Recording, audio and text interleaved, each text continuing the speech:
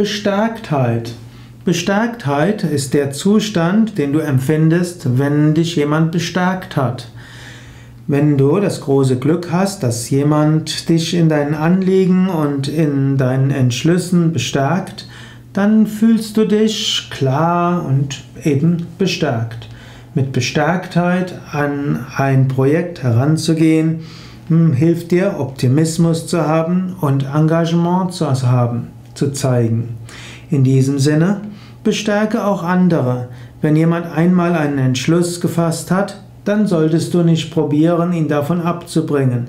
Sofern natürlich das Objekt des Beschlusses ethisch ist. Man sollte natürlich niemanden bestärken in unethischem Verhalten.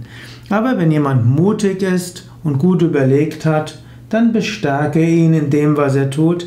Das wird ihm helfen und das wird dazu beitragen, dass die Sache gut ausgehen kann.